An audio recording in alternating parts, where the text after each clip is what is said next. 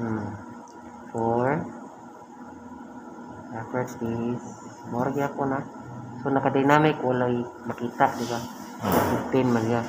Ang obtain meaning siya ay mag-assign sa ang computer mo ay mag-assign sa IP address. Siya ay nagbutang dire dili na to may ito no. Makita nato na siguro dire kung tanawon nato. Pero kung static ito ay magbutang, makabutang ta. Pero kung dynamic dili.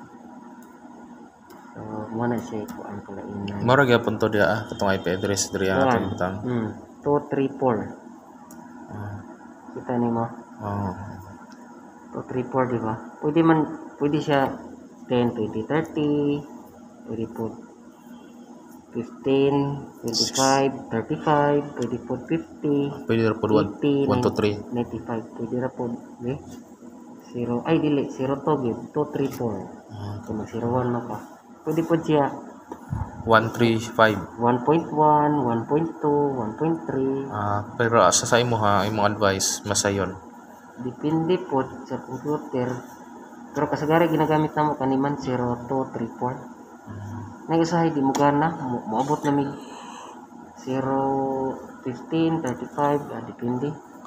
Basta di lang ta sa static, dili lang ta mulapas og 100 ka pin. Murag 100 pa, ah, 90 pa ubos ra na ang static. 2, 3, 4 ana pataas. So ano lang ha, so karon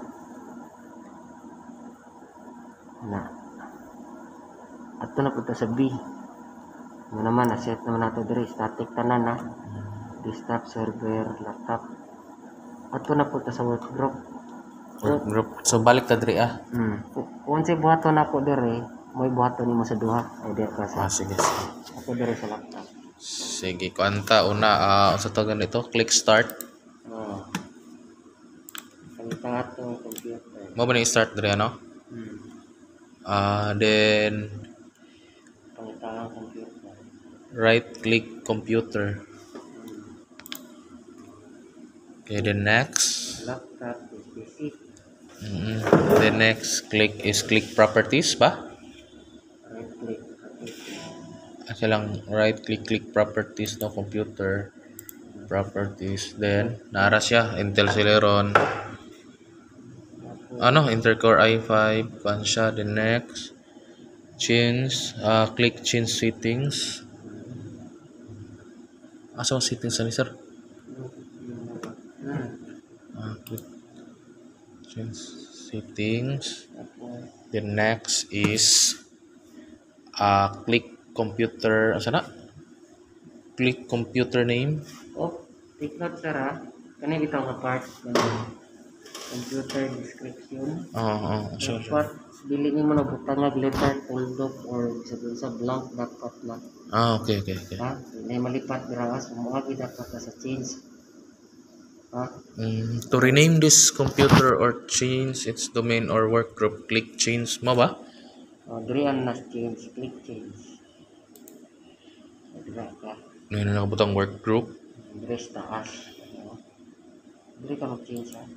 Ayaw dito sa ibawal. So laptop, ikaw, client. Change na tanan.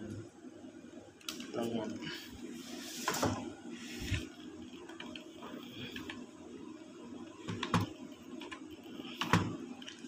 Client, then after client. Pwede na mag-change sa inyong family name. Mm. Or kani, same ra tanan, work group. Pwede ra name, family name. ha. Ano sa work group ito? Oo. Pwede ra na siya mag-change family name, middle name.